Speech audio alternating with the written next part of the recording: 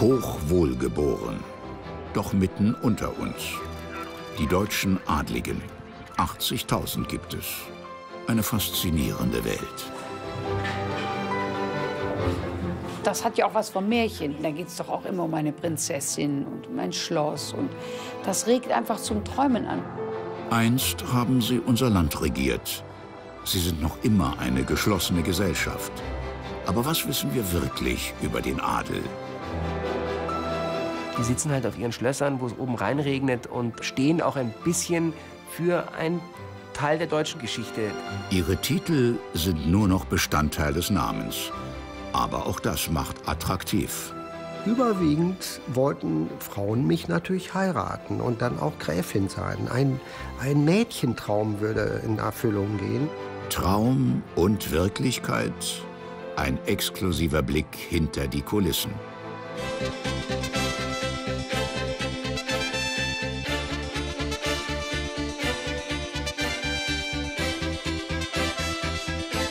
Gespannte Stimmung im tschechischen Karlsbad.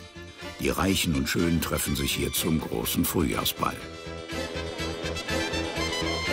Hunderte Gäste aus aller Herren Länder sind angereist, darunter viele Blaublüter. Der Adel liebt solche Bälle. Bälle haben auch in unserer Familie eine große und lange Tradition. Bis jetzt war jede Generation von uns immer auf Bällen vertreten und ich werde das auch definitiv so weiterführen. Der Vorabend des großen Balls. Ein Tanzen im Hotel Imperial. Die Generalprobe. Für die meisten Adligen mehr Gaudi als nötiges Training. Adlige tanzen unglaublich gerne. Und da reisen die Menschen auch hunderte von Kilometern, um auf einen, einen guten Ball zu gehen weil ihnen das einfach Spaß macht, auf die Bälle zu gehen. Weil sie gerne tanzen, weil sie tanzen können. Die haben, das haben sie gelernt als Kinder. Und es wird die ganze Zeit durchgetanzt, wird getanzt bis 4 Uhr morgens, bis 6 Uhr morgens oder bis, bis sonst wann. Wenige Stunden vor dem großen Ball. Es wird frisiert und gestylt, als gäbe es kein Morgen. Die Vorfreude ist wie immer am schönsten. Auch bei Christina von Thun-Hohenstein. Die Gräfin ist zum ersten Mal dabei, hier in Karlsbad. Ich war heute sehr aufgeregt, weil das natürlich ein Event ist, auf das man sich das ganze Jahr über freut. Und endlich ist der Tag da. Kleid und Frisur erinnern nicht zufällig an eine berühmte Kaiserin. Ich kam auf den Sissi-Look, weil Sissi eine sehr entfernte Cousine von uns war. Und ähm, ja, sie ist bis heute noch in aller Munde. Und da wollte ich sozusagen ihr Bild noch mal aufgreifen und für einen Abend auch mal Sissi sein. Endlich ist es soweit. Der große Ball im Grand Hotel beginnt. Die noble Veranstaltung ist nur eine von vielen, auf denen man sich regelmäßig trifft. Es gibt auch Bälle, die nur dem Adel vorbehalten sind. Kein Zutritt ohne Titel. Solche exklusiven Tanzabende sind vor allem Kontaktbörse. Ganz wichtig, wer sitzt neben wem? Wer könnte zueinander passen? Da gibt es eine Sitzordnung. Jeder weiß genau, mit wem er zu speisen hat. Und äh, da äh, geht es auch darum, dass der Herr die Dame, die neben ihm sitzt, ähm, auffordert und mit ihr dann zu Tische geht und mit ihr auch ein Gespräch führt während des Essens, ja, also die berühmte Konversation pflegt. Und danach hat der Tischherr mit seiner Tischdame auch immer den ersten Tanz zu tanzen. Sich näher zu kommen, ist hier ausdrücklich erwünscht.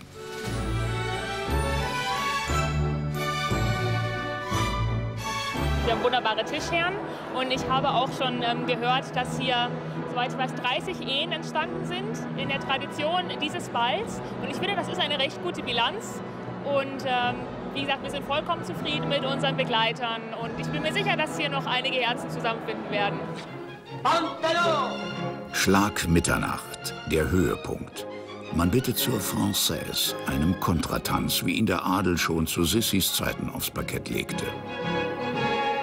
Ein Tanz, der Anmut erfordert und, wenn sich die Angebetete leichtfüßig bewegt, auch schon mal zu schnellen Entscheidungen reizt. Mein Entschluss steht fest. Ich heirate Sissi oder. Ähm, Auch für Maximilian Erbprinz zu Bentheim-Tecklenburg stand früh fest, die oder keine, als er Lady Marissa Fortescue bei einem Abendessen traf. Ich kann schon sagen, dass ich ein, ein großes Interesse an meiner Frau hatte und auch ein bisschen etwas um sie gekämpft habe. Das ist auch eine Tatsache. Für den Prinzen ist Marissa die perfekte Prinzessin. Ich habe meinen Mann kennengelernt in, in der Nähe von Oxford bei einem Abendessen organisiert bei einem äh, Verwandter von ihm. Ja, das war ein, einfach ein schöner schön Abend und ähm, ja, das hat so angefangen. Seit 13 Jahren führt der Erbprinz die Geschäfte des fürstlichen Hauses Bentheim-Tecklenburg. Die Familie ist verwandt mit fast allen Königshäusern Europas. Schloss Reda in Westfalen. Seit sechs Jahrhunderten Stammsitz der Bentheim-Tecklenburgs, die ihr Vermögen über eine Revolution und zwei Weltkriege hinweg bewahren konnten. Sie besitzen Ländereien, Wald und Immobilien. Und auch Prinzessin Marissa ist nicht irgendwer, sondern eine Nichte des sechsten Earls of Fortescue und eine Verwandte von Rosamunde Pilcher. Das Schloss der Fortescues war auch mal Kulisse für einen Pilcher-Film. Ich fand das als Engländerin eigentlich ganz witzig, weil die englische Adel sieht optisch anders aus. Die haben nicht diese protzige Autos. Die haben alte Land Rovers oder alle voller Matsch und nicht so sauber. Und es ist, ähm, die Wahrheit ist schon ein bisschen anders. Äh, alte Tweedjacken mit Löcher und äh, kalte Häuser, wo man sich mit dicker Pullover ansehen muss, weil die Heizung nicht funktioniert. Und es ist schon äh, nicht so sauberhaft wie in diese Filme. Eine Ehe zwischen deutschem und englischem Adel, genau wie bei der Queen. Doch der Alltag von Prinzessin Marissa ist nicht nur alte Sonnenschein. All die gesellschaftlichen Termine erfordern Charme, Ausdauer und Geschick.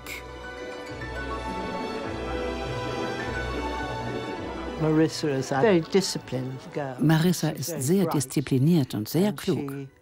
Sie hat erfolgreich für das Auktionshaus Christie's gearbeitet. Sie hat ja Kunstgeschichte studiert. Ich war nicht im mindesten überrascht zu hören, dass sie Maximilian heiratet. Sie ist genau die Richtige für diese Aufgabe. Eine standesgemäße Verbindung also. Die Wahrscheinlichkeit einer rein adligen Hochzeit ist beim Hochadel deutlich größer als beim niederen Adel. Im September 2000 ist es soweit. Hochzeit in der Schlosskapelle von Reda. Ich kam in diese Kapelle mit meinem Vater und es ist, hat eine besondere Stimmung. Hier, das ist fast quadratisch, sehr intim, obwohl äh, locker 200 Menschen waren da. Und wir haben für uns zwei sehr trotzige Blumenmädchen, die haben ihre Mutter gesucht und wollten nicht weiter. Das war schon sehr witzig, weil man wollte eigentlich anfangen, aber diese Mädels, die, die haben ein bisschen äh, Unsinn gemacht. Aber das, ich finde, wenn es ein bisschen schief geht, das ist auch sehr charmant. Ganz Reda will dabei sein, um sein Prinzenpaar zu feiern. Und auch die Bilanz der beiden in den zwölf Jahren seit dieser Hochzeit kann sich sehen lassen. Vier Kinder, keine Skandale und gesunde Finanzen. Nicht nur die Heiratspolitik ist beim Adel standesgemäß, sondern möglichst auch die Wohnung. St. Emmeram im Herzen von Regensburg. Hier wohnt Deutschlands wohl berühmteste Fürstin. Was ist denn schon dran an St. Elmacham? Wer wohnt denn da? Ach so, die Gloria. Ja, Mit mehr als 500 Zimmern, so heißt es, ist Glorias Schloss größer als der Buckingham-Palast. Von euch war denn schon da? Wer wohnt denn da? Ach so, die Gloria. Das ist eine Metapher mit den 500 Zimmern. Ich weiß nicht genau, wie viele Zimmer das Schloss hat aber es hat unglaublich viel Quadratmeter, 40.000 Quadratmeter Dachfläche. Seit dem frühen 19. Jahrhundert ist St. Emmeram, ein ehemaliges Kloster, fürstliche Residenz. Von hier aus wurden einst Untertanen beherrscht und diplomatische Beziehungen gepflegt. Dutzende prunkvolle Räume, die man heute natürlich nicht mehr alle bewohnen kann. Ich habe in einem Teil dieses Schlosses, genau im Ostflügel, eine Wohnung, die mein Mann in den 70er Jahren hat umbauen lassen. Das heißt, ich habe dort eine Zentralheizung und dort sind meine Kinder groß geworden. Dort habe ich mit meinem Mann gelebt. Da sind also die Kinderzimmer, das Zimmer für die Kinderschwester. Dann haben wir dort einige Gästezimmer für die Familie. Wir haben ja eine große Familie. Dann haben wir dort eben ein schönes großes Esszimmer. Also auf Quadratmeter genau kann ich es Ihnen nicht sagen. Es ist eine sehr schöne, große, angenehm zu bewohnende Etage. Und der Rest des Schlosses? Diese Frauen brauchen ein Jahr, um St. Emmeram von oben bis unten zu putzen. Und dann fangen sie wieder von vorne an. Ein Schloss kostet. Und jetzt muss mal gucken, dass man das Dach auf dem Schloss richten kann, dass es nicht reinregnet. Dann, wenn es nicht mehr reinregnet, muss man es heizen. Und wenn es dann geheizt ist einigermaßen, da muss man sehen, dass eben der Raum und die Möbel keinen Schaden nehmen. Also es ist ein ständiges Hinterherlaufen, dass das Kulturerbe, welches man ererbt hat, nicht kaputt geht. Und wer bezahlt das alles? Die Fürstin wäre froh, wenn der Staat Bayern das Kulturerbe übernehmen würde. Tut er aber nicht. Sie muss es also selbst finanzieren. Ideen hat sie genug.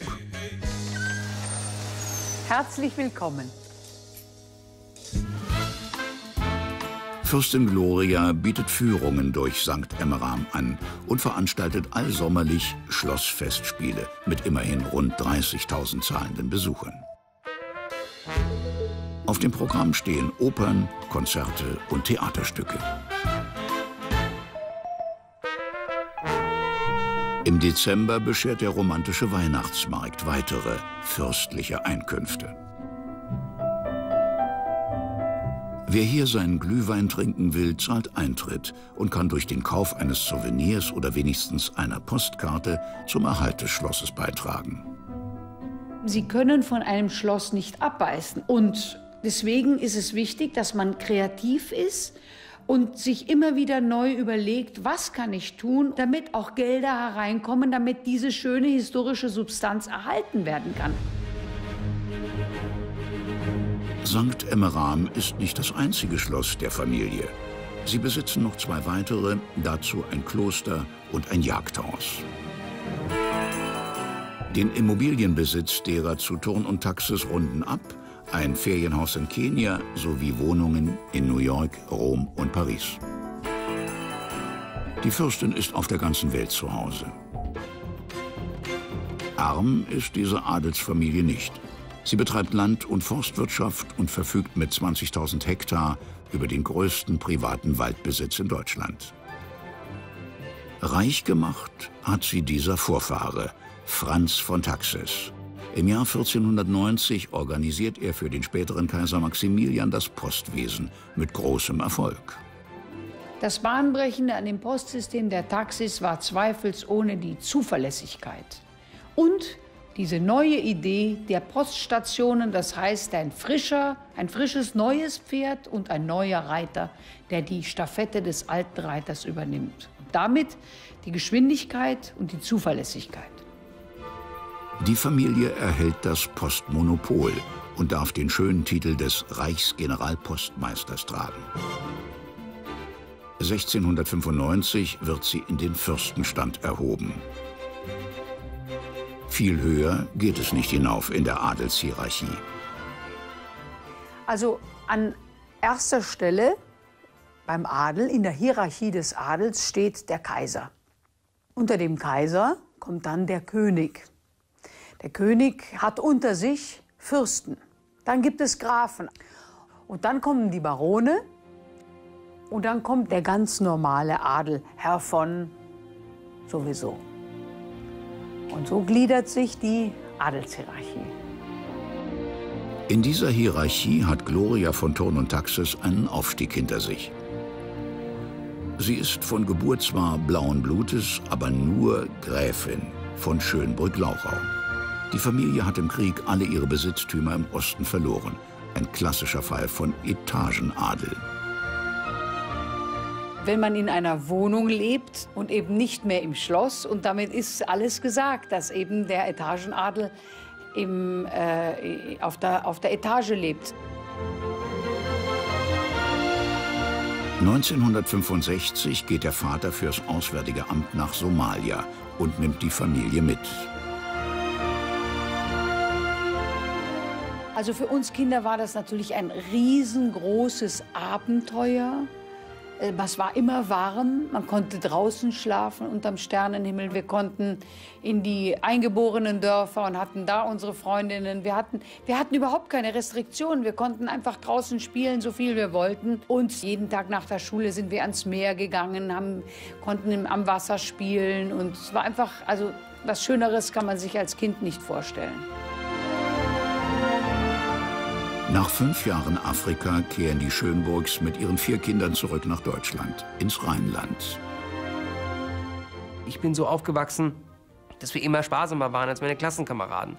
Wenn ich zur Schule gegangen bin, wurden meine Klassenkameraden wohl mit einem blitzeblank polierten BMW in die Schule gebracht und mein Vater hat mich in einem klapprigen alten Lader in die Schule gebracht. Und insofern gibt es so etwas wie, kann man adlige Identität bewahren, auch ohne auf einem Schloss zu wohnen so gewisse Erziehungsideale, kulturelle Ideale sind völlig unabhängig von materiellem Besitz.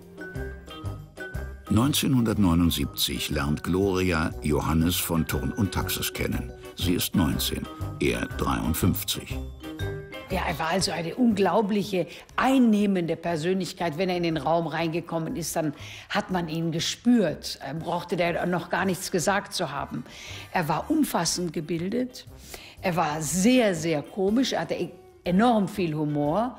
Das war für mich die große Liebe und das Schöne daran war, dass ich im Grunde genommen da reingewachsen bin. Weil durch den großen Altersunterschied war das jetzt nicht unbedingt das Coup de Foudre, sagt der Franzose, eine Liebe auf den ersten Blick. Er wiederum hat das anders beschrieben. Er hat gesagt, ich habe gleich gesehen, dass die was für mich ist. und er hat etwas, was sie nicht hat. Ein Schloss wie ich zum ersten Mal hierher kam, das war ja unglaublich. Das hat mich fast erschlagen, weil ich mir gedacht habe, ich bin jetzt äh, im, im Dornröschen-Schloss gelandet. Am 31. Mai 1980 heiraten Gloria und Johannes auf Schloss St. Emmeram. Höchste Zeit für den einstigen Partylöwen. Das Fürstenhaus braucht einen Erben und die junge Braut weiß schon, was von ihr erwartet wird. Und dann muss ich auch Kinder erziehen mit der Zeit. Also Wie viel wünschen Sie sich? 20. Es werden immerhin drei. Zwei Töchter und ein Sohn. Nach der Familienpflicht kommt die Kür. Und die sieht bei Gloria ziemlich aufregend aus, damals, als sie Mitte 20 ist.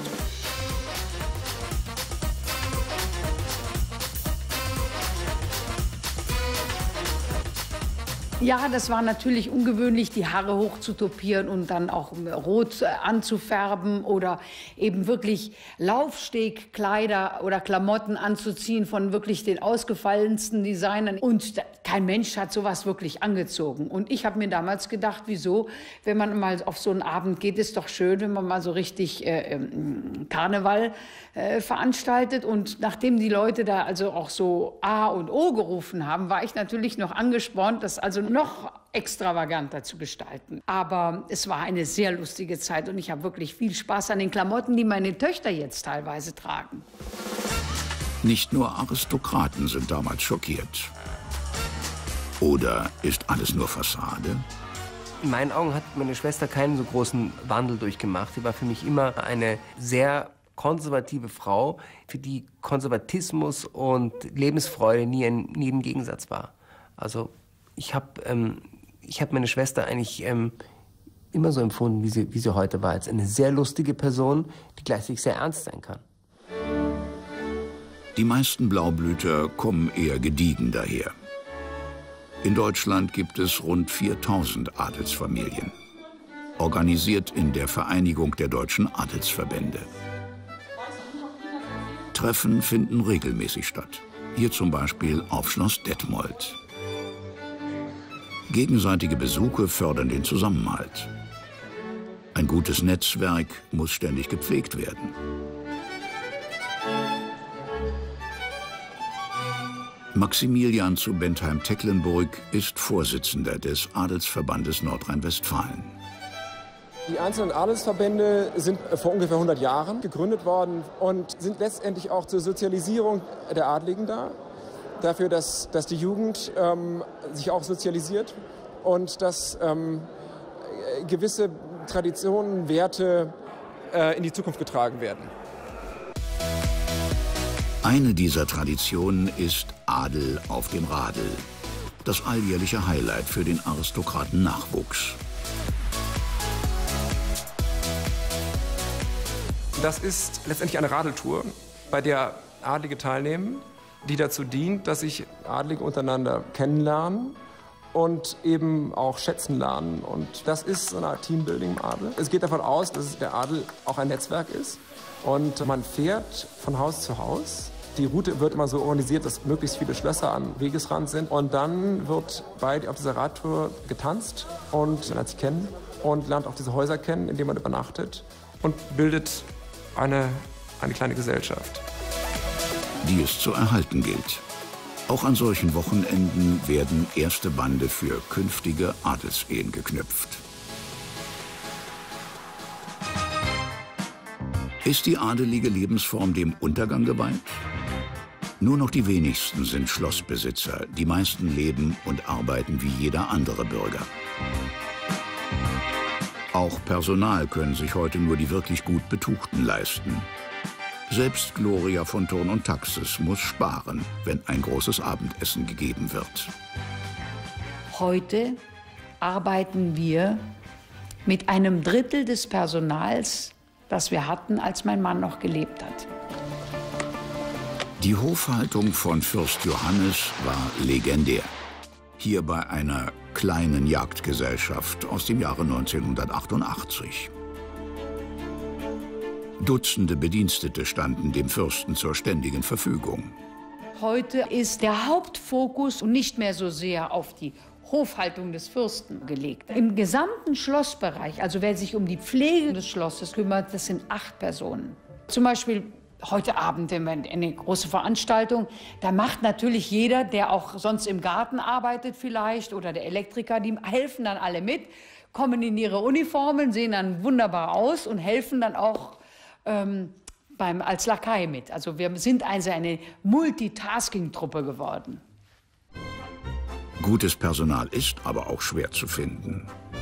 Die Besten kommen von hier, von der International Butler Academy im niederländischen Falkenburg. In acht Wochen wird man hier zum Butler ausgebildet, für eine Kursgebühr von 14.000 Euro. Auf dem Stundenplan stehen Hausmanagement, Tischkultur und Etikette. Wer schwitzt, verliert. Das Wichtigste für einen Butler sind bestimmte persönliche Fähigkeiten. Er muss unglaublich ehrlich sein und sehr diskret. Er ist immer verantwortlich für alle offizielle Gelegenheiten, die es gibt, also äh, Empfänge und, und, und formelle Dinners. Und äh, abhängig von wo ein Butler arbeitet, ist er natürlich sehr bekannt mit Etikett und Protokoll, auch international. Hier herrscht keine sanfte Pädagogik. Befehle gehören hier zum guten Ton.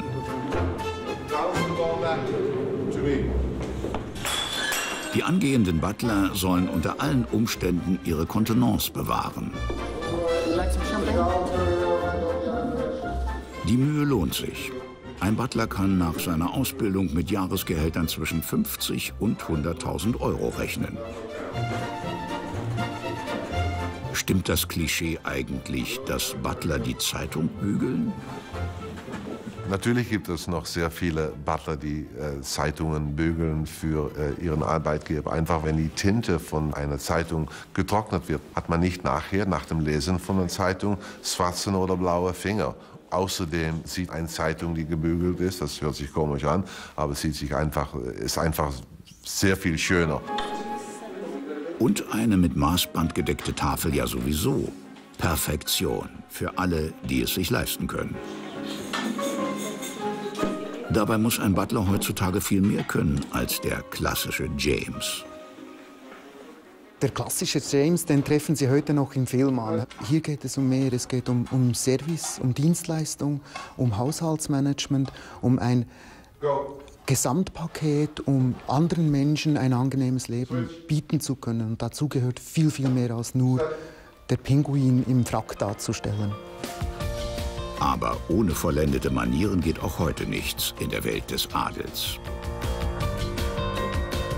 Für den Adligen gibt es ganz bestimmte Regeln und Rituale, mit denen er aufwächst und für die er seine Kinder erzieht. Und äh, da sind Manieren einfach genauso wichtig wie äh, klassische Tänze oder den Handkusses für die Männer oder das exakte Auftreten, die Haltung, die innere wie die äußere. Und so sind Manieren auch ein Teil dieser festgelegten Rituale. Ich heiße Maria Theresia. Ich heiße Jade. Und jetzt du. Ich heiße Albert. Äh, Mit dem standesgemäßen Benehmen kann man gar nicht früh genug anfangen. Und du? Nein, ich bin Albert. Und bin? Was mir auch immer sehr wichtig war, dass sie sich unterhalten können. Dass sie also nicht stumm wie ein Fisch am Tisch sitzen und ihren Nachbarn nicht zum Reden bringen, sondern schon in der Lage sind, also ein, ein Gespräch äh, in Gang zu setzen, ein interessantes Gespräch und sich für den Nachbarn zu interessieren. Also das Einmaleins der, der Konversation und, und des gesellschaftlichen Parketts, darauf habe ich Wert gelegt. Typisch Adel ist auch, die Kinder aufs Internat zu schicken. Eine der ersten Adressen dafür ist die Klosterschule Rossleben in Thüringen, gegründet vor 500 Jahren. Keine reine Adelsschule, aber die 1500 Euro Internatskosten im Monat muss man sich schon leisten können.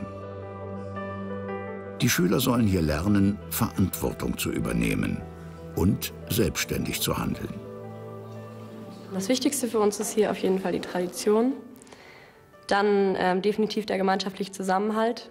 Das fällt auch jedem sofort auf, der hier ist. Jedem Lehrer, jedem Schüler, jedem Erzieher. Und mein Vater war schon im Internat. Und er hat gesagt, im Internat gibt es einfach viel, viel bessere Möglichkeit und eine ganz andere Ausbildung. Also es ist natürlich eine andere Art zu lernen.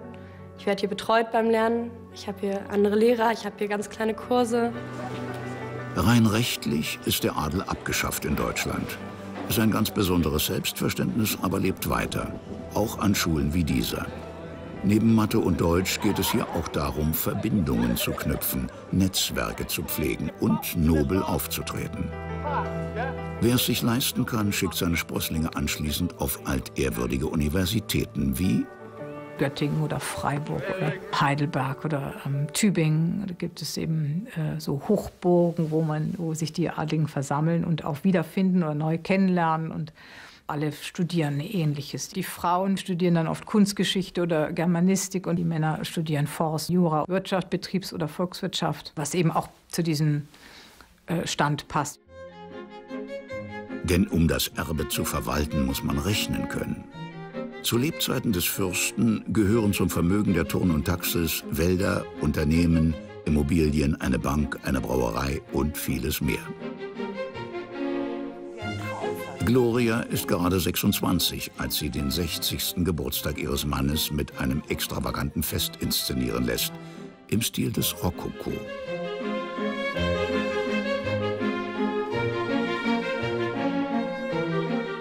Ich wollte für meinen Mann etwas ganz Besonderes, etwas, was er noch nie erlebt hat. Er war ein sehr verwöhnter, wohlhabender Playboy. Der hatte praktisch schon die ganze Welt, kannte er und die Gesellschaft. Da musste ich mir was Besonderes einfallen lassen.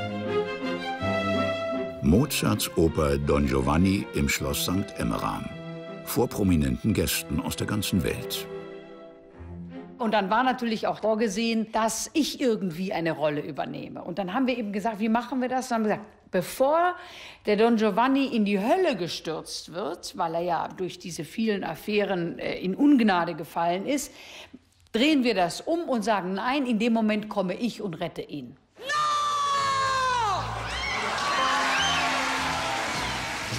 Johnny, wenn du Geburtstag hast.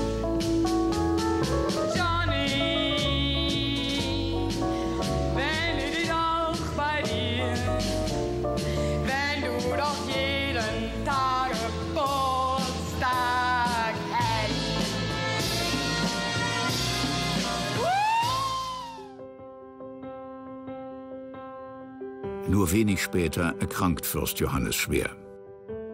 Auch zwei Herztransplantationen können ihn nicht mehr retten. Zeit, zurückzublicken auf eine Ehe, die nicht immer einfach war.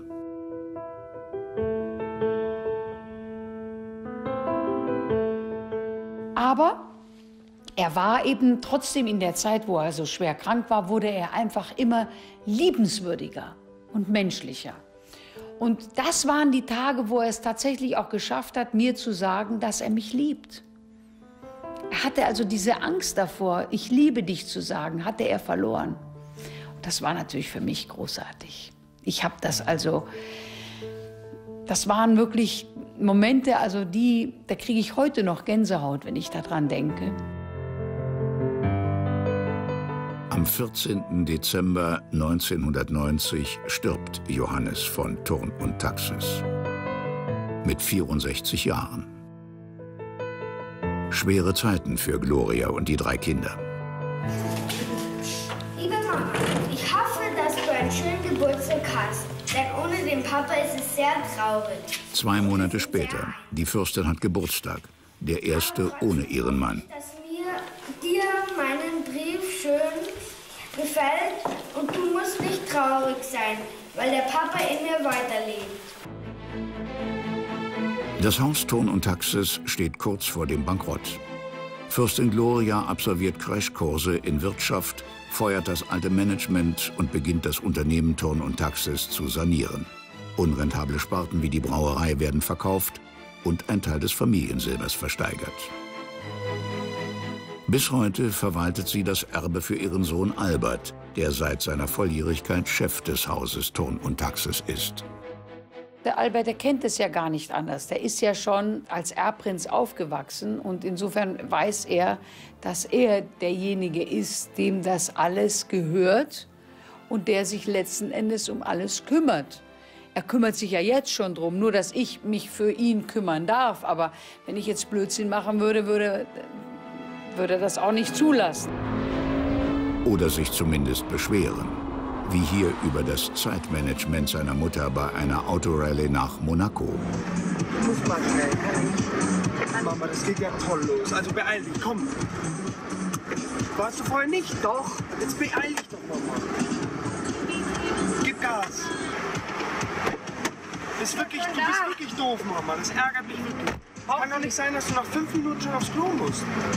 Warum denn? Musst du die nächsten fünf Minuten wieder aufs Klo? Nee, jetzt ist lange Schluss. Wir sind Letzte, wir waren Erste, gell? Fürst Albert ist passionierter Rennfahrer und siegte unter anderem 2010 in der ADAC GT Masters. Wo er sie bloß her hat, diese Leidenschaft. Als kleiner Junge wollte er schon immer Motorrad fahren und Auto fahren. Und ich habe natürlich das toll gefunden. Ich war ja selber noch ein Kind und insofern bin ich dann mit dem Albert auch äh, mit Motorrad durch den Wald gesaust. Und ich war einfach selber auch so motorbegeistert wie er. Aber der Fürst kann nicht nur querfeldein, sondern auch geradlinig. Nach Wirtschaft studiert er jetzt Philosophie. Für die Zukunft als Chef des Hauses ist er gerüstet. Und mit seiner Mutter hat er ja für alle Fälle eine kluge Ratgeberin. Der Hang zu eher extravagantem Zeitvertreib ist seit jeher typisch für die von und zus. Adel verpflichtet, auch in der Freizeit. Das Jagen scheint dabei ein fester Bestandteil der adligen DNA zu sein. Eine Schleppjagd wie hier auf Herrenchiemsee ist eine echte Herausforderung für Pferd und Reiter. Gejagt wird heute allerdings nicht mehr ein leibhaftiger Fuchs, sondern nur noch eine Fährte.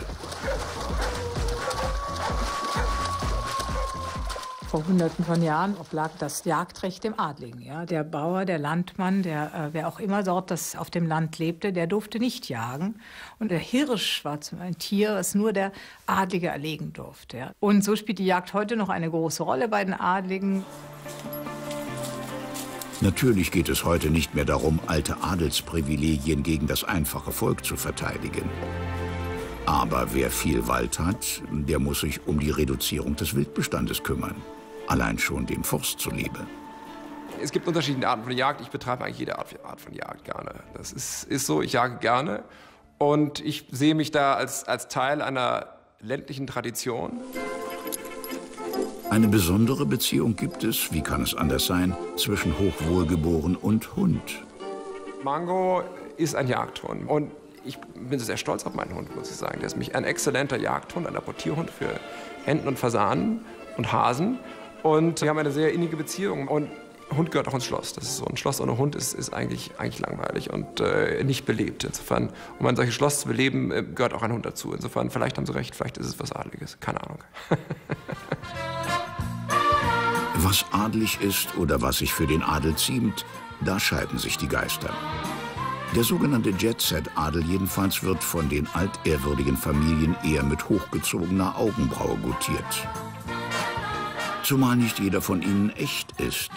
Mancher lässt sich heiraten oder adoptieren, um einen Standestitel abzustauben. Wer zum echten Adel gehört, das kann man hier nachschlagen, im genealogischen Handbuch des Adels, benannt nach seinem Verlagsort Gotha. Das Who is Who des deutschen Adels in 151 Bänden. Der Gotha spielt eine Riesenrolle in den adligen Familien. Da wird also zum Gotha gegriffen, wenn man nicht weiter weiß. Die Familien sind ja doch so weit verzweigt, dass man nicht immer genau weiß, wer hat wen geheiratet und wer gehört jetzt wieder zu wem und wer ist denn jetzt nochmal dieser Hohenzollern und wie gehören denn jetzt irgendwie diese Habsburgs zu jenen Habsburgs und sind die eigentlich miteinander verwandt. Und sobald mehrere Adlige beisammen sitzen, liegt auch ziemlich bald ein Gotha auf dem Tisch und man guckt eben nach, ja, gibt es denn da überhaupt noch einen Abkömmling aus der Familie? Die sind doch im Mannesstamm erloschen, wie es dann so schön heißt im Gotha. Definitiv nicht im Gotha zu finden ist er, Loh Graf von Blickensdorf.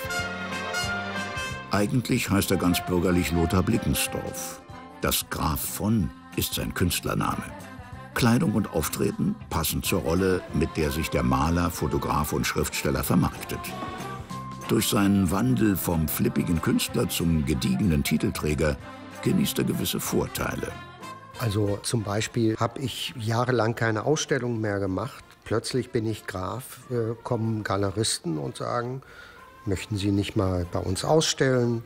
Ähm, oder im Restaurant, äh, wenn dann jemand sagt, übrigens, der da sitzt, das ist ein Graf. Dann kommt der, der Chef, Geschäftsführer an den Tisch und sagt, Sie sind selbstverständlich eingeladen. Wenn Sie mir nur Ihre Visitenkarte geben und die wird dann in ein Album gesteckt, neben anderen berühmten Leuten. Die Visitenkarte samt Wappen hat der Maler natürlich selbst entworfen. Sie hat ihm schon so manche Tür geöffnet. Kommt, bleibt schnell alle stehen. Auch bei den Damen.